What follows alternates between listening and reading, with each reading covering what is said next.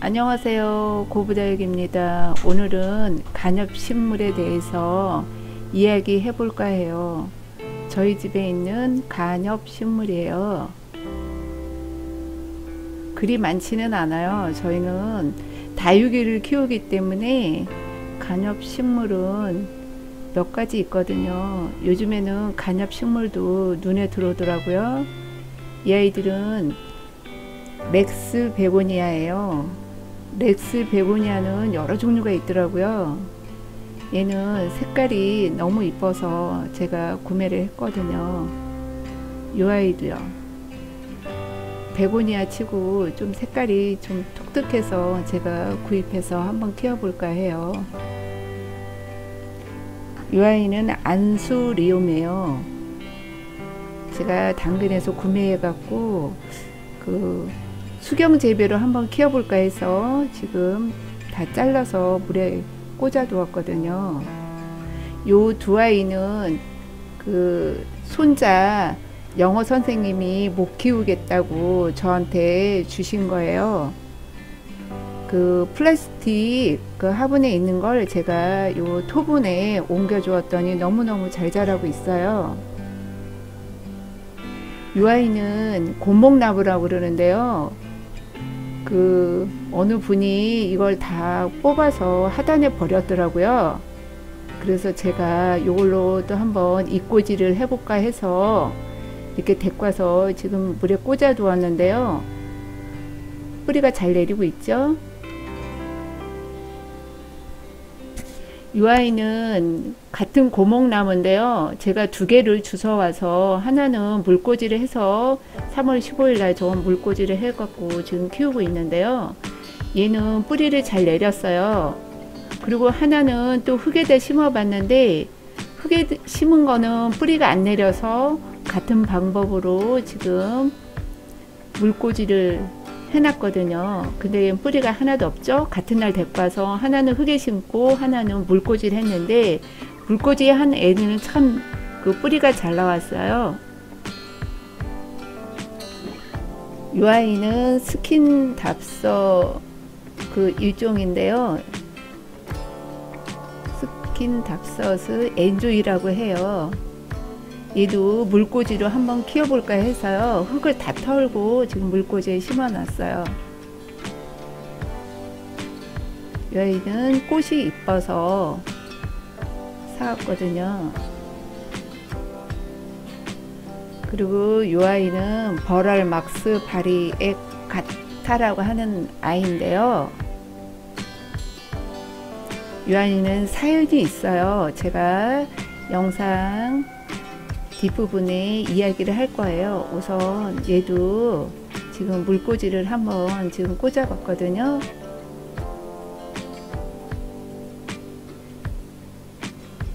물꽂이에서 키우는 걸 그 수경재배라고 하지요.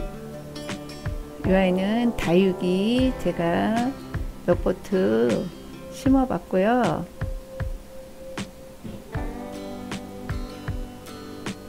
이 아이도 물꽂이를 한번 해봤어요. 근데 잘 자라고 있네요. 이 아이는 아인시리움. 요 옆에 있는 애는 워터코인이라고 수경 재배도 가능하고요. 그냥 우리가 보통 그 펄라이트하고 상토하고 섞인 그 간엽 식물 그 흙에 심어도 잘 자라요. 이 아이는 제가 2월 25일 날 수경 재배로 시작해서 지금까지 키우고 있는데요. 아무 이상 없이 잘 자라고 있어요.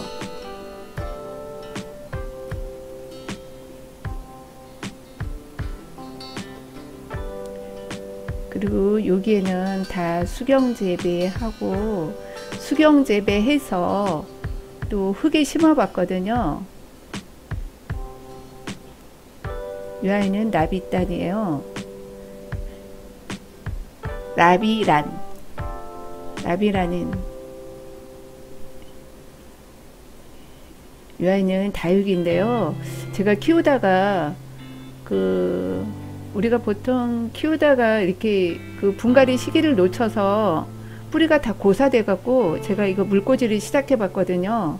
4월 3일 날 물꽂이를 해 놓고 그 밑에 종이 이렇게 받쳐 놓은 거는요. 물꽂이를 하게 되면 밑으로 치마를 많이 입더라고요. 그래서 치마 입지 못하게 저희 빳빳한 저기 우유팩 종이를 잘라서 저기 지금 이렇게 해줬거든요. 이 아이는 4월 15일 날 물꽂이를 하네요. 4월 15일 날 물꽂이를 하고 요 촬영한 날짜는 그 4월 23일 날인 것 같은데요.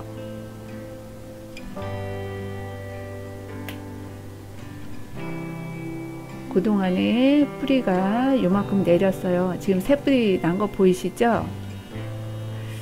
그냥 흙에다가 심는 것보다 저는 이렇게 뿌리를 물꽂이 해서 뿌리를 이렇게 받아갖고 그 상토하고 그 저기 마사하고 같이 심어 놓으면 더 잘 뿌리를 내리는 것 같아서 저는 물꽂이를 해서 뿌리를 내려서 그 다음에 이렇게 흙에 심, 심어요. 이 아이는 알로카시 아인데요. 하나는 수경 재배로 하고 하나는 그 흙에 심어 봤어요. 근데 이렇게 수경 재배로 한 아이도 그냥 흙에 심는 것보다 저는 이거 수경 재배가 더 쉬운 것 같아요. 뿌리 보이시죠? 뿌리가 이렇게 올라와서 제가 저 돌 흙이 있죠. 저 돌로 이렇게 뿌리를 눌러줬는데 또그 우유를 저렇게 빼꼼히 또 올라왔네요. 수경 재배한 요 앞에 아이나 수경, 흙에 심은 저 뒤에 아이나 모두 잘 자라고 있어요. 이 아이는 베고니아입니다. 이 아이는 버럴막스 바리의 가타인데요. 제가 그 몬스타 알보라고 있죠. 그게 가격이 굉장히 비싸더라고요. 그래서 저도 그 간엽식물에 관심을 갖고자 이 아이를 20만원 넘게 주고 산 아이인데요. 잘 키워보려고 했는데요. 얘 아이가 그 물 주는 시기를 놓쳐서 그 입장이 둘이 탔어요. 입장 몇 개가 타갖고 이 아이를 어떻게 할까 고민하다가 이 아이도 수경 재배로 키워볼까 하고 요 밑에 부분에서 제가 적심을 했거든요. 아, 이 아이는 입장이 너무 이쁜데 이렇게 됐어요. 아깝죠? 20만원 넘게 준 아이인데 2만원짜리로 돼버린 것 같아요, 지금.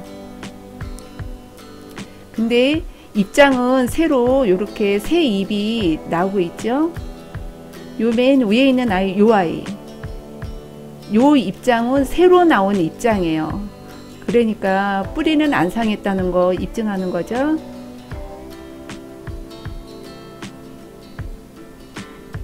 요 밑에 그 입장 밑에 또 저 세수 나오는 거 보이시죠? 제가 그래서 그 안수리움 그거 가지고 수경 재배를 해봤잖아요.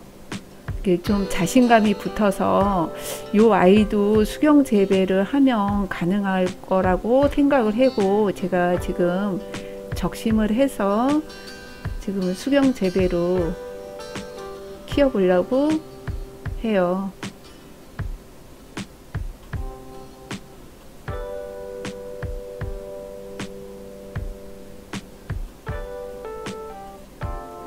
예, 제가 적심한 아이인데요. 한번 커팅해서 그 또 세입이 나오는 갈라지는 지점에서 또 커팅을 했어요. 그러니까 커팅을 두 번 한 거죠. 그래서 지금 이게 물꽂이로 키우려고 수경재배를 키우려고 지금 저 유리병석에 넣어놨는데요. 이 아이도 입장이 색깔이 무, 무늬가 이렇게 이쁜데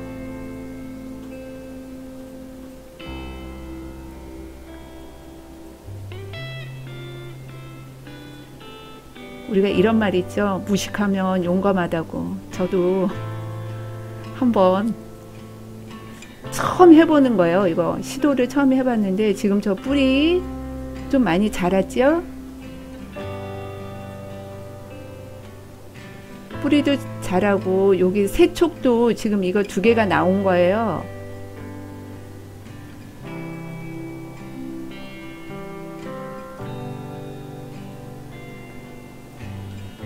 요 비싼 걸 제가 이렇게 수경 재배로 한번 키워볼까 해서 지금 이렇게 해놨는데요. 잘 자랄 거라고 믿어요.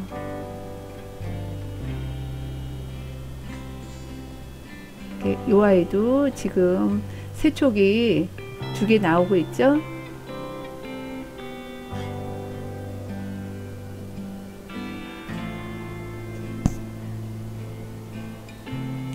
우리가 식물을 키우다 보면 그 기다림이 좀 있어야 될 것 같아요.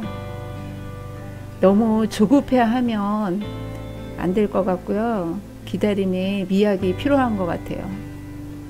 이 아이도 한 두 달 정도 키우면 어느 정도 뿌리가 나올 것 같은데요. 뿌리가 잘 내려서 되게 흙에 심을 때까지 한번 기다려 볼게요.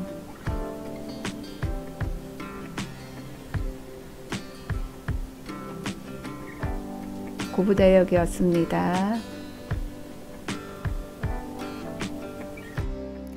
여러분 구독과 좋아요 꾹 눌러주세요.